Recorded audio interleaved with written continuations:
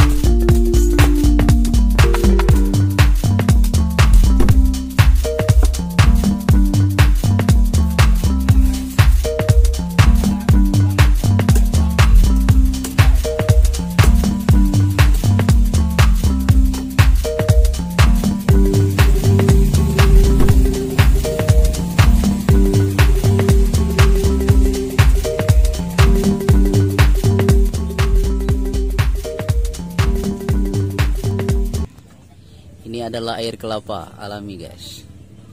Komposisinya adalah gula merah. Diaduk-aduk guys. Rasanya tentu nikmat guys. Kita coba guys.